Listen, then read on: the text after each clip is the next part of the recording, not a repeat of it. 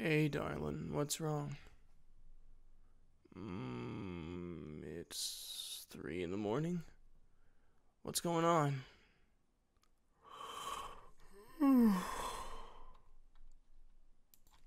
no, we're not going back to sleep till you get whatever is messing with you off your chest.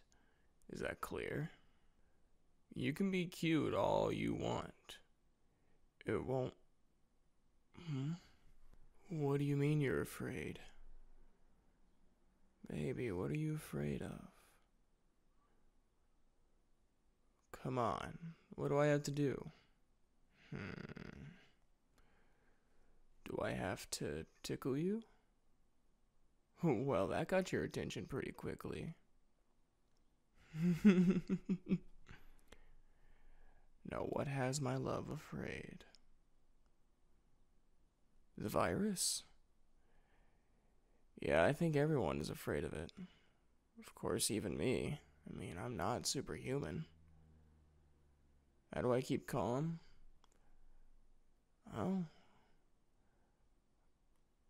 I guess I just enjoy life. You know what I mean? How do I do it? Well, have you ever had a moment where you just felt? You sound confused.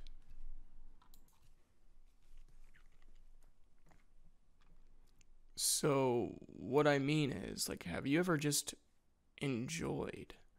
Enjoyed the birds, the wind, maybe even the cars that drive by?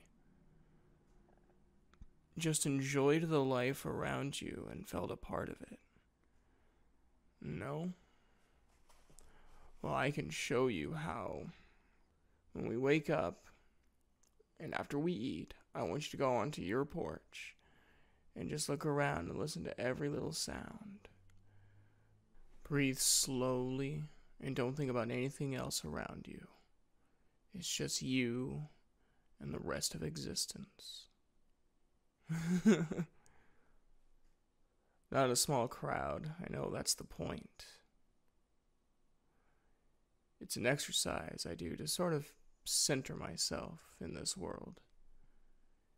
It shows that whatever is going on in my life or our lives, that life is still moving, albeit slower than normal, but still moving.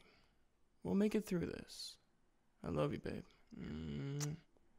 Now we can go back to sleep.